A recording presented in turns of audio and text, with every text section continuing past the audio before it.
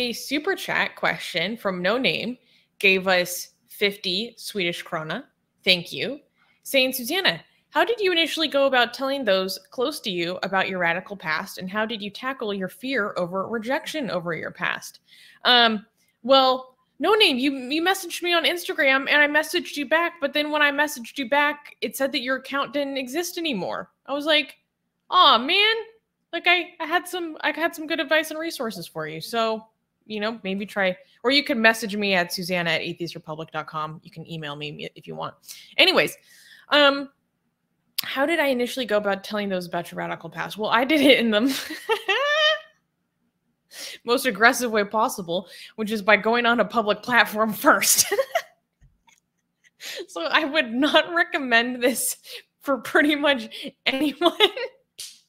um, I went out guns blazing and uh, did my first uh, public appearance ever on the Secular Jihadists uh, channel. So you can go check out that episode on uh, Secular Jihadists uh, YouTube channel. But um, how did I go about telling you about my radical past?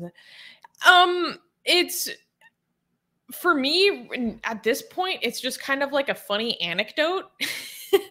um, so I think um, it's something like I'll talk about it on a first date or whatever that people just find very interesting or they, they they're curious about. Um, I think it might be a bit different for me because I was on the lefty side of things and that's perceived like in general less threatening even if you are like a you know very far lefty militant it's just not seen as bad um, as far right militant, at least in my communities in my my country. I mean, I also live in the Bay Area, which is one of the most lefty places in the country. So, um, it, um, how did I tackle my fear of a rejection over my past? Um, I actually haven't faced that much fear of a rejection from my past itself.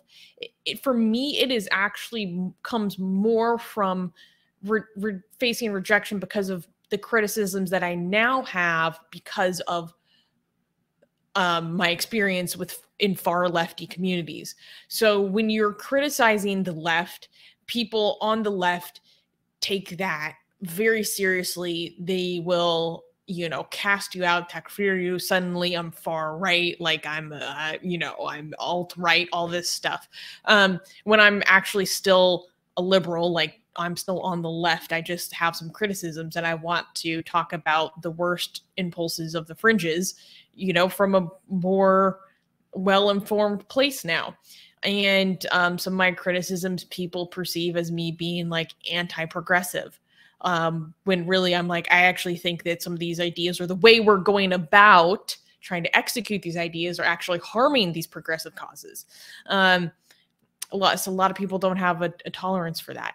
Um, I think what would help you based on the message you sent me on Instagram, which I, you know, won't get into publicly, but um, would be to find people of a, um, a similar group and experience of, as you and i actually have some like resources and communities that might be able to help you with that and um, someone who armin and i both know a mutual friend um, comes from a similar ideological background as you so maybe i could connect you two if you'd be interested in that. I, I could ask him if he would be willing to email you. Um, and i um, I think this this person in particular might um, be a good person for you to interact with because his experience reflects yours a little bit more closely, and he's public about his experience now, and um, is one of the nicest, kindest um, people you'll meet. Um, so I think um, it it takes time, but you will learn that people good people, good people will celebrate you for what you have changed about yourself. Good people will be proud of you for what you've changed about yourself. Um, people who are judgmental and reject you and close you out um, are not people who are interested in genuine change and the betterment of society because given your background, we should be celebrating you for what you've done. Um, and I'm I'm very firmly believe that. Um, so I'd encourage you to email me at Susanna at atheistrepublic.com or you know message me on Instagram again, and because I'd, I'd really like to connect you to some of that stuff. Oh give my goodness! wanna Give it another super chat. Thank you for another super chat saying Instagram slapped me with the ban, sent an appeal last week, no response. We'll send an email. Can't describe how much I appreciate it. Again, thank you. Oh, well, thank you. I, I don't know why they insta banned you. You had nothing on your account, but um, uh, yeah, feel free to reach out, and I hope I can uh, connect you to some good stuff. Atheist Republic needs your help. We've been the target of many legal attacks by Hindu nationalists ever since our founder Armin Navabi blasphemed against Hindu deities.